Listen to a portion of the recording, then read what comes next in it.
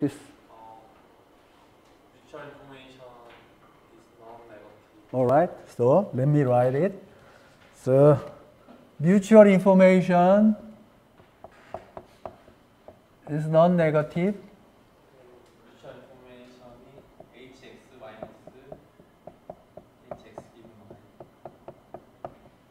This is just by definition, right? Just by definition. So having said this, can we say that h of x minus h of x given y is greater than or equal to 0, right? And then from here we can say h of x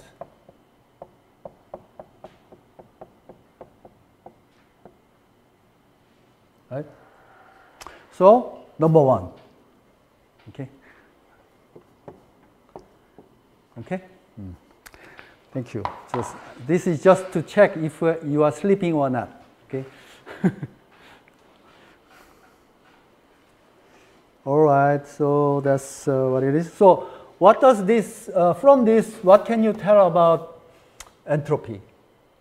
So if you do, uh, if you are measuring the uncertainty of a random variable, right? Condi- when you have a conditioning, it reduces entropy. Okay?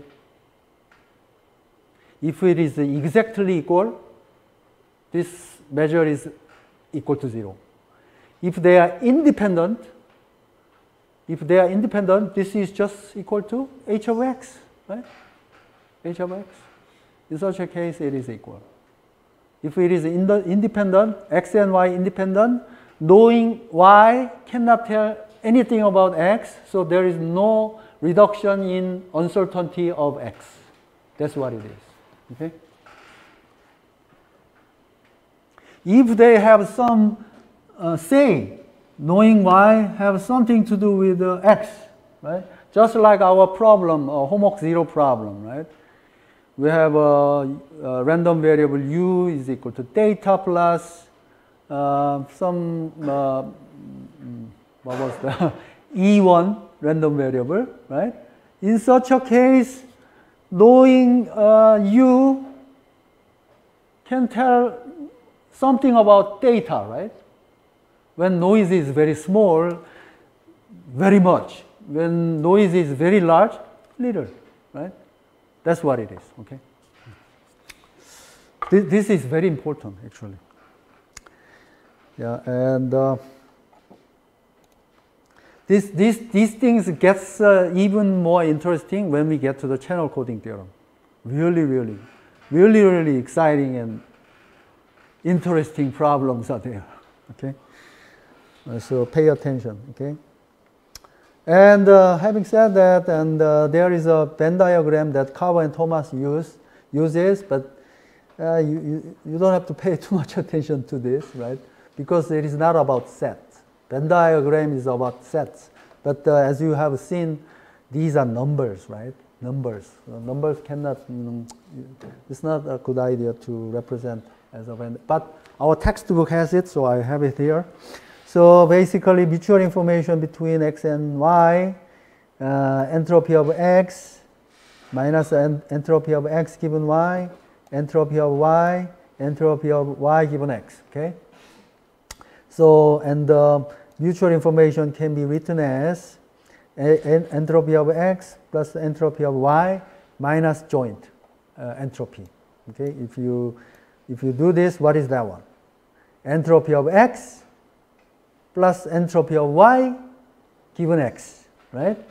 So entropy of x cancels with each other, front and back. Then what's left is uh, this one. Okay. So in pictorially you can draw something like that, but not very intuitive. So just uh, remember this part for sure. Okay. All right, that's that. Now, conditioning reduces entropy. This one I have covered right here by asking you a little, uh, you know, early, right? So conditioning reduces entropy.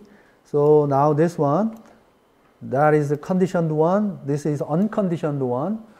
Unconditioned one should be larger, right? Or equal to that. When do you have equality? If and only if x and y independent. Okay? Why we have a if and only if? Because we have already proved it, right? Mutual information is equal to zero if and only if x and y independent. Okay? That was what we have proved already. All right, that's that. Now chain rule we can apply chain rule. So you have a series of random variable x1, x2, xn drawn from um, distribution P. Uh, then mutual uh, no, no, uh, joint entropy between xn, x1 and x2 can be written this way. X1 first, and then entropy of x2 given x1. Okay? And then if you have a 3, uh, just apply one more time uh, for this part. Then you have entropy of H1, x1, entropy of x2 given x1, entropy of x3 given x1 and x2. So uh, uh, one is given, the uncertainty on the other one, the correlated part taken away. And uh, do the same with uh, uh, x3. In this particular case, given the first two. So that's the joint entropy. and then we can proceed this further for larger n, but the story is the same. So we call this chain rule. Okay.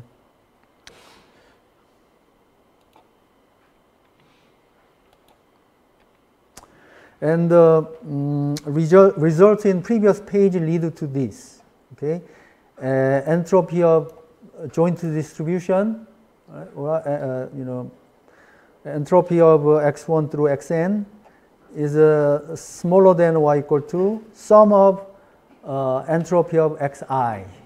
Why is that?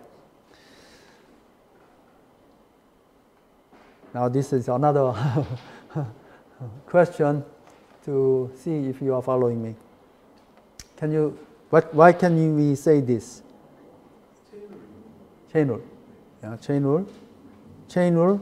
Uh, so you, if, you, if you use chain rule for this one, then you have all these conditional entropies, right? So let's go back to one page. So all these conditional entropies, right? What can you say about these uh, particular uh, conditional entropy, which is this one? H of x2, great. Which one is greater? Which one is greater? Uh, h of x2 given x1 versus h of x2 is greater, right? How about this one? h of x3 is greater than this particular term, right? Right. So h of x1 plus h of x2, h of x3. If we compare these three terms with uh, these conditional terms, individual entropy summation is greater, right? So that's what happens right here, next page, right here, right? Uh, unconditioned one, right? Conditioning reduces entropy. So without reducing the entropy, uh, if you take the summation, this one is uh, greater than this one, right? When do you have equality now? In, uh, all these xi's are independent with each other. Then conditioning doesn't matter, right? So in, in such a case, equality, exactly, okay? And uh, this is if and only if. All right, so that's that. Now move on, move on to the next page. Now we can, uh, we are now ready to talk about conditional mutual information. So this type of design is very useful when you design cryptography system and uh, uh, medium access channel capacity theorem. When we prove this one, this type of thing is uh, important. Like a MIMO antenna, you send two information uh, two independent stream of uh, information from one antenna to the other. And when, when we talk about the capacity of this channel, this type of thing is very useful. So, So uh, when we go to like a chapter uh, 14, this becomes very useful, and then there the problem is even more interesting. Really, really important problems are dealt with there. Uh, still applies to modern uh, information theory and the cryptography, uh, media access channel, all, all type of mathematical problems can be dealt with this one. So anyway, so mutual information between x and y given z. Okay, that's what it is. Okay, so for example, z can be some uh, secret key, and then you can uh, cryptographic system uh, that when you try to uh, design a, a code, uh, uh, you know, the encryption code or decryption code, basically this type of measure is very useful there. probably I will I'll try to find a, a time to talk about uh, modern uh, post-quantum secure cryptography as uh, we move on, okay, as an example of uh, applying this type of theory, okay. So, uh, uh, so this one, using the definition so far, I can say this. Is, is, is this right or wrong? Remember I have a typos, right?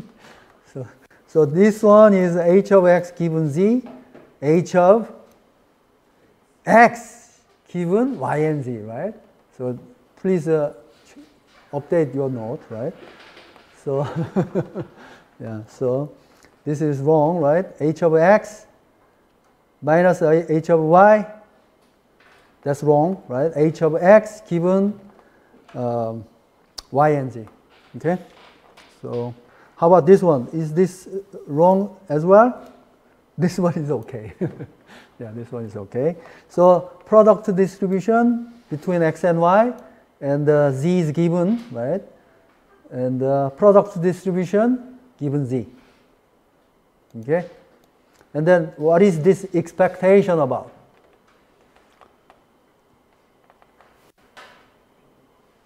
joint distribution, okay? So joint uh, between what? X, Y, Z. Three of them, okay? Because uh, we have this uh, X, Y, Z, all of them are random variable, each with a distribution, right? And then we, uh, in this notation here, so uh, Cover uh, was trying to careful, basically he, he used this type of notation in order to make it exact, right? So this expectation is over, over this distribution. That's what he's saying. And then he writes this argument. You can do the same. So right here, expectation. We do respect to this distribution. That's what you are averaging, right? Using this uh, distribution. So uh, this one averaged over this distribution. That's what the definition of this notation, okay? All right, now can we say this? Mutual information between x, y given z equal to 0 if and only if x and y independent given z. So there is just a definition that if uh, the top part is equal to the bottom part for all realization of x, y, and z, then these two distributions are independent with each other. Okay, so uh, this is the same song and dance. Okay, so you can apply that. Now, chain rule for information. Chain rule for information. Instead of having uh, one random variable here in front of this semi semicolon, right? Semicolon is the notation differentiating between the first part and the second part, okay? Mutual information needs two arguments, right? First part, second part, right?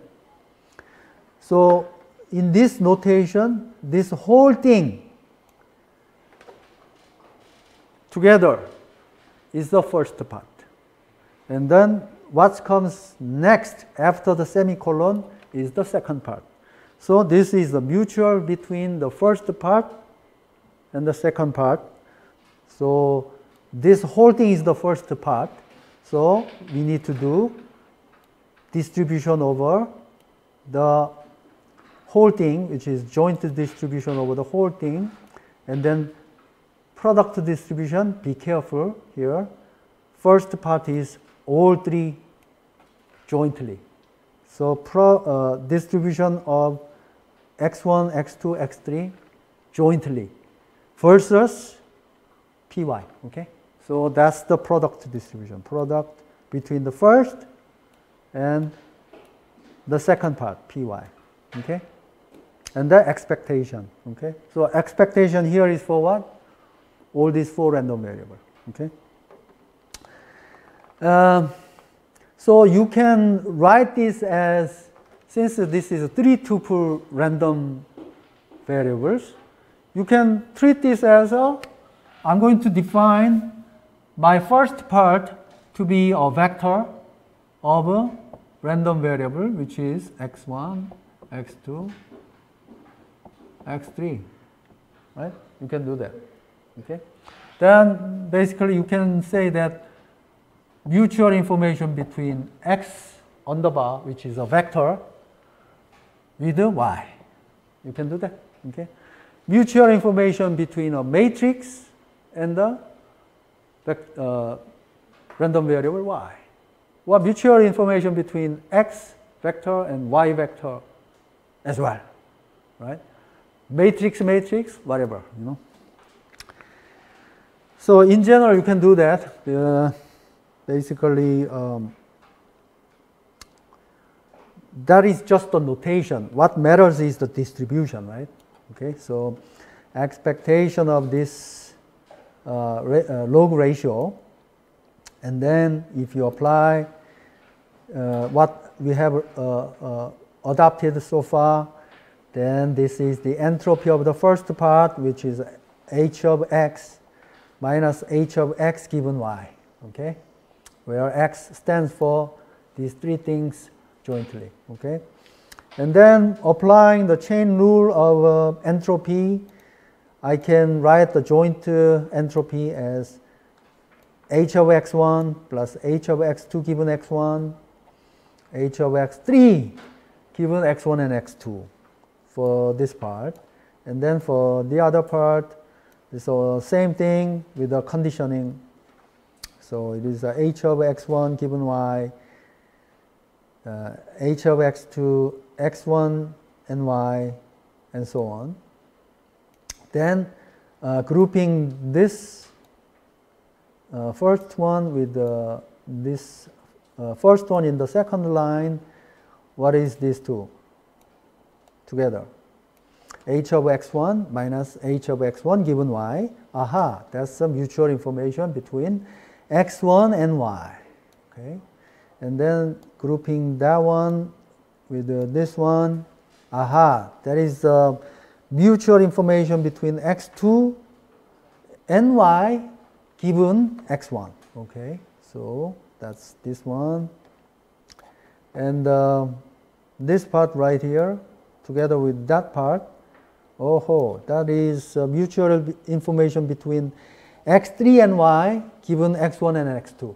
Okay, so aha, this uh, uh, mutual information can be broken down into three uh, summations, each input and the y, and then uh, if you uh, uh, you know write down the first random variable, if you taken care of the first random variable, then all you have to do is the conditioning in, in for the rest of the summation. So uh, mutual information between x1, x1 and y, mutual information between x2 and y given x1, x3 and y given x1 and x2, and so on. So this, this is just a consequence of applying chain rule of uh, entropy and mutual information. So once you have applied it, this complex one becomes uh, simple terms, simpler terms, okay? And uh, that's it. So this one you just need to get familiar with. Right? Now uh, we have a very serious one, uh, which is the another heavy one. Uh, but uh, I, I, don't think I have enough time for today, so I will do it next time. Since uh, this part is very complex, I will tell you the story first, and then I want you to take a look at the uh, video lecture that I have posted before coming to the class so that I don't have to write heavy uh, uh, derivation on the board.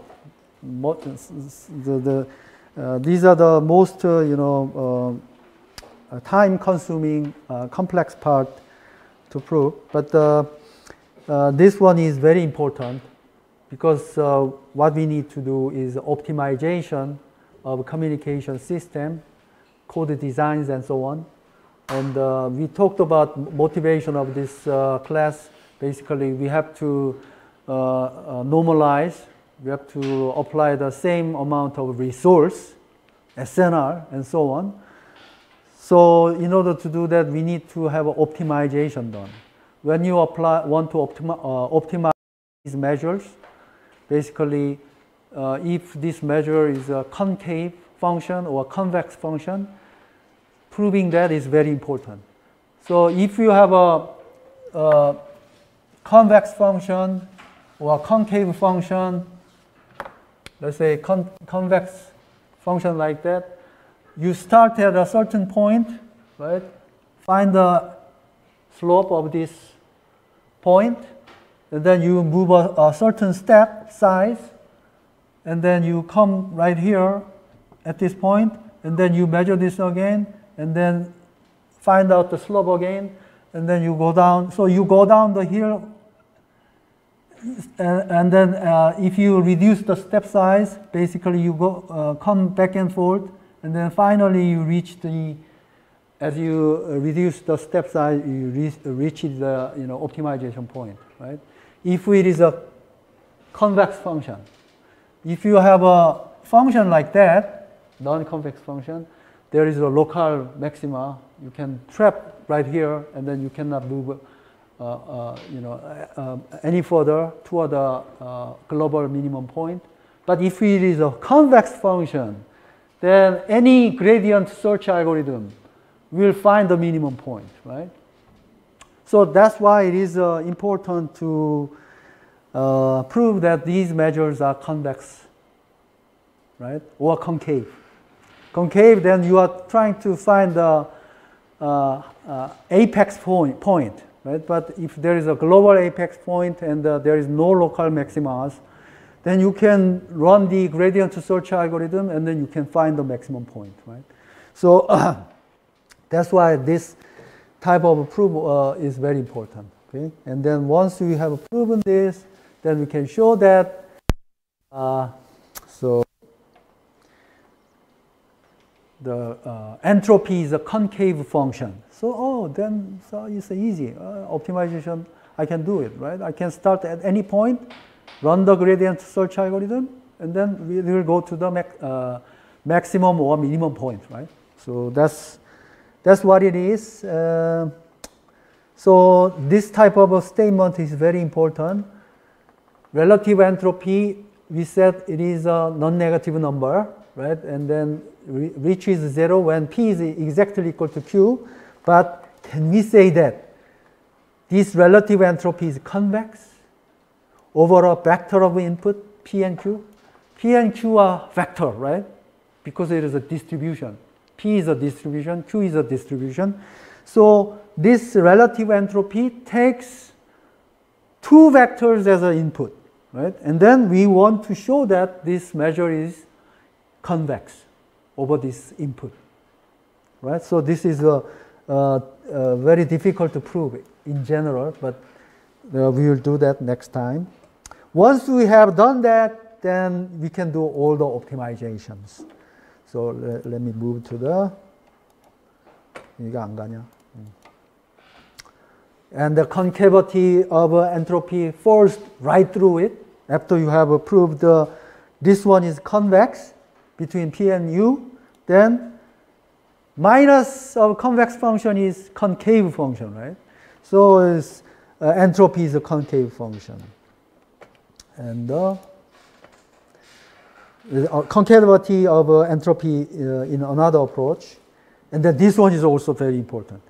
Concavity of x and y over the input distribution, px, so that you can choose your transmission signals, right, over a channel where the channel is given as py given x. py given x is what? y is an observation, x is a transmitted symbol, noise is, is added to the transmitted symbol, that's what you receive, right? So this one is describing the channel. I send to x, if there is no noise added to it, y is, is, is exactly equal to x. But since there is some added, uh, added noise to it, right, y is not in general exactly equal to x. So this py given x describes the channel. Okay, so this one is if I wanted to maximize the mutual information or the channel capacity over a noisy channel, I need to have a means to optimize this by controlling the transmission uh, probability, the probability of uh, certain signals or symbols, which is uh, uh, uh described as a p of x. Okay, so maximize the mutual information over the channel by controlling the input distribution, right? Given a certain channel P, Y given X. That's what this one is. So it is very important. Okay? So basically this is the heart of the channel coding theorem. Okay? So after you understand this, rest of them will be little simpler. Okay? Uh, chapter, so this is the end of chapter 2. And uh, chapter 3 is a little simpler than this, okay? And after this uh, chapter 2 and 3, things are uh, much more fun, okay? There will be more examples, less abstract, and so on.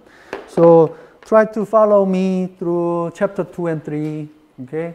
After I have covered chapter 2 and 3, I will have a uh, quiz so that I, I can make sure that you are following me.